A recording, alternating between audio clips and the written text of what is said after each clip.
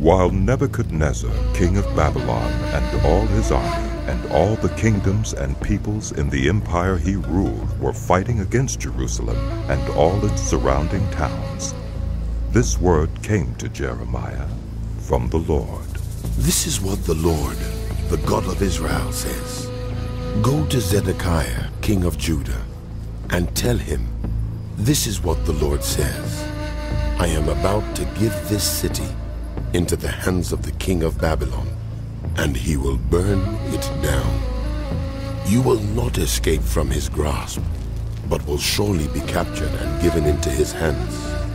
You will see the king of Babylon with your own eyes, and he will speak with you face to face, and you will go to Babylon. Yet hear the Lord's promise to you, Zedekiah, king of Judah. This is what the Lord says concerning you. You will not die by the sword. You will die peacefully. As people made a funeral fire in honor of your ancestors, the former kings who preceded you, so they will make a fire in your honor and lament. Alas, Master, I myself make this promise, declares the Lord.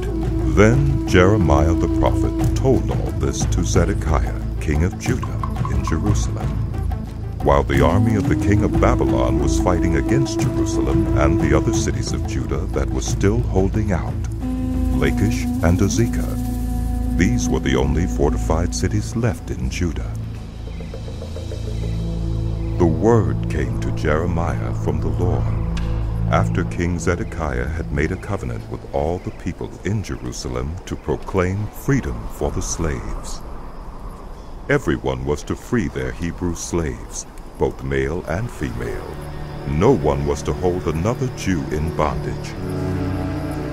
So all the officials and people who entered into this covenant agreed that they would free their male and female slaves and no longer hold them in bondage. They agreed and set them free. But afterward they changed their minds and took back the slaves they had freed and enslaved them again. Then the word of the Lord came to Jeremiah. This is what the Lord, the God of Israel, says. I made a covenant with your ancestors when I brought them out of Egypt, out of the land of slavery. I said every seventh year, each of you must free any other Hebrews who have sold themselves to you. After they have served you six years, you must let them go free. Your ancestors, however, did not listen to me or pay attention to me. Recently, you repented and did what is right in my sight. Each of you proclaimed freedom to your own people. You even made a covenant before me in the house that bears my name. But now, you have turned around and profaned my name. Each of you has taken back the male and female slaves you had set free to go where they wished.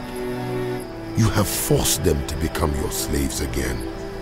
Therefore, this is what the Lord says. You have not obeyed me. You have not proclaimed freedom to your own people. So I now proclaim freedom for you, declares the Lord. Freedom to fall by the sword, plague, and famine. I will make you abhorrent to all the kingdoms of the earth. Those who have violated my covenant and have not fulfilled the terms of the covenant they made before me, I will treat like the calf they cut in two and then walked between its pieces.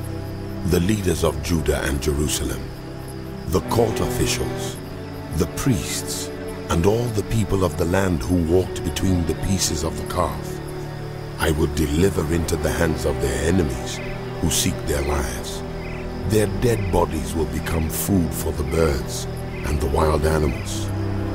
I will deliver Zedekiah king of Judah and his officials into the hands of their enemies who seek their lives, to the army of the king of Babylon, which has withdrawn from you. I am going to give the order, declares the Lord, and I will bring them back to this city. They will fight against it, take it and burn it down. And I will lay waste the towns of Judah, so no one can live there. This is the word that came to Jeremiah from the Lord during the reign of Jehoiakim, son of Josiah, king of Judah. Go to the Rechabite family and invite them to come to one of the side rooms of the house of the Lord and give them wine to drink. So I went to get Jaazaniah, son of Jeremiah, the son of Habazziniah and his brothers, and all his sons, the whole family of the Rechabites. I brought them into the house of the Lord, into the room of the sons of Hanan, son of Igdaliah, the man of God. It was next to the room of the officials, which was over that of Maaseiah, son of Shallum the doorkeeper. Then I set bowls full of wine and some cups before the members of the Rechabite family, and said to them, Drink some wine.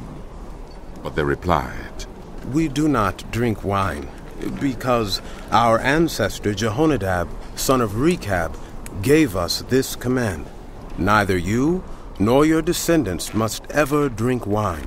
Also, you must never build houses, sow seed, or plant vineyards. You must never have any of these things, but must always live in tents. Then you will live a long time in the land where you are nomads. We have obeyed everything our ancestor Jehonadab, son of Rechab, commanded us.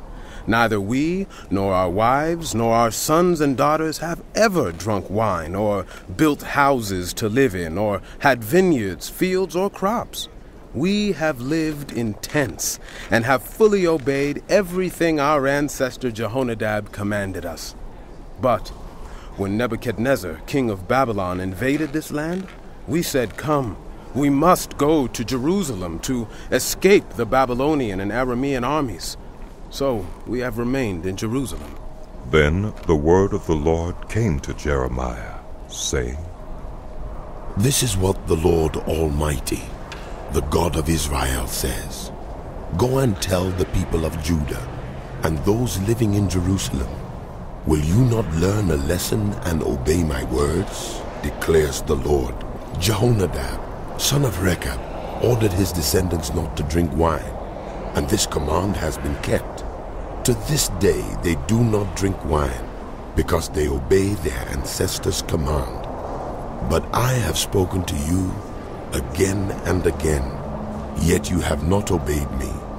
Again and again I sent all my servants, the prophets, to you. They said, Each of you must turn from your wicked ways and reform your actions. Do not follow other gods to serve them. Then you will live in the land I have given to you and your ancestors. But you have not paid attention or listened to me. The descendants of Jehonadab, son of Rechab, have carried out the command their ancestor gave them. But these people have not obeyed me. Therefore, this is what the Lord God Almighty, the God of Israel, says Listen, I am going to bring on Judah and on everyone living in Jerusalem every disaster I pronounced against them. I spoke to them, but they did not listen. I called to them, but they did not answer. Then Jeremiah said to the family of the Rechabites, This is what the Lord Almighty, the God of Israel, says. You have obeyed the command of your ancestor Jehonadab, and have followed all his instructions, and have done everything he ordered. Therefore, this is what the Lord Almighty, the God of Israel, says. Jehonadab, son of Rechab, will never fail to have a descendant to serve me. In the fourth year of Jehoiakim, son of Josiah, king of Judah, this word came to Jeremiah from the Lord. Take a scroll and write on it all the words I have spoken to you concerning Israel, Judah, and all the other nations from the time I began speaking to you in the reign of Josiah till now. Perhaps when the people of Judah hear about every disaster I plan to inflict on them, they will each turn from their wicked ways. Then I will forgive their wickedness and their sin. So Jeremiah called Baruch, son of Neriah. And while Jeremiah dictated all the words the Lord had spoken to him, Baruch wrote them on the scroll. Then Jeremiah told Baruch, I am restricted. I am not allowed to go to the Lord's temple. So you go to the house of the Lord on a day of fasting, and read to the people from the scroll the words of the Lord that you wrote as I dictated. Read them to all the people of Judah who come in from their towns. Perhaps they will bring their petition before the Lord, and will all turn from their wicked ways, for the anger and wrath pronounced against this people by the Lord are great. Baruch, son of Neriah, did everything Jeremiah the prophet told him to do. At the Lord's temple he read the words of the Lord from the scroll. In the ninth month of the fifth year of Jehoiakim, son of Josiah, king of Judah, a time of fasting before the Lord was proclaimed for all the people in Jerusalem and those who had come from the towns of Judah. From the room of Gemariah, son of Shaphan, the secretary, which was in the upper courtyard at the entrance of the new gate of the temple, Baruch read to all the people at the Lord's temple the words of Jeremiah from the scroll. When Micaiah, son of Gemariah, the son of Shaphan, heard all the words of the Lord from the scroll, he went down to the secretary's room in the royal palace, where all the officials were sitting. Elishama, the secretary, Delaiah, son of Shemaiah, Elnathan, son of Achbor, Gemariah, son of Shaphan, Zedekiah, son of Hananiah, and all the other officials. After Micaiah told them everything he had heard Baruch read to the people from the scroll, all the officials sent Jehudi, son of Nethaniah, the son of Shelemiah, the son of Cushi, to say to Baruch, Bring the scroll from which you have read to the people and come. So Baruch, son of Neriah, went to them with the scroll in his hand. They said to him, Sit down, please, and read it to us. So Baruch read it to them. When they heard all these words, they looked at each other in fear and said to Baruch, We must report all these words to the king. Then they asked Baruch, Tell us, how did you come to write all this? Did Jeremiah dictate it? Yes, Baruch replied. he dictated all these words to me, and I wrote them in ink on the scroll. Then the officials said to Baruch, You and Jeremiah, go and hide. Don't let anyone know where you are. After they put the scroll in the room of Elishama, the secretary, they went to the king in the courtyard and reported everything to him. The king sent Jehudi to get the scroll, and Jehudi brought it from the room of Elishama, the secretary, and read it to the king and all the officials standing beside him.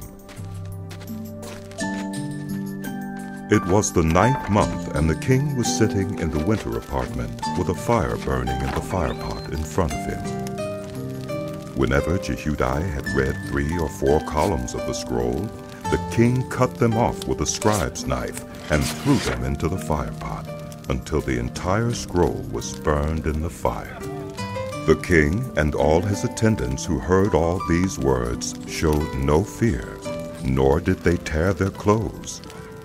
Even though Elnathan, Delaiah, and Gemariah urged the king not to burn the scroll, he would not listen to them. Instead, the king commanded Jerahmeel, a son of the king, Seraiah, son of Azriel, and Shelemiah, son of Abdiel, to arrest Baruch the scribe and Jeremiah the prophet.